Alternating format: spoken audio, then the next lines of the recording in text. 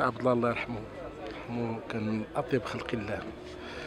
كان يعني يتصبب وجهه من الحياء كان رجلا قويا سياسيا ذكيا مثقفا مفكرا وكان يتصبب من الحياء بكل تواضع. كان رجل متواضع. كان إنسان طيبوبة يعني والإنسانية والصدق في الكلام وفي المعا- المعاملات. الله يرحمه ويوسع عليه جيت هذا الصباح لقيته ما صدقتش لأن جاني النبأ ما لم أصدق لأن قلت ما يمكنش. قول لي سكته قلبية قول لي شي اكسيدا في لوطوروت وكتقول لي بحال هكا ما راه جاكش غريب. غريب.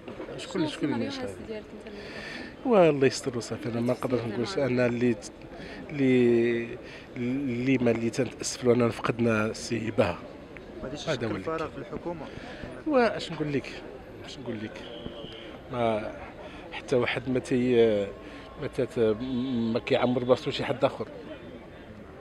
والحياة هي هذه سنة الحياة هي هذه الحياة تنطلق من جديد.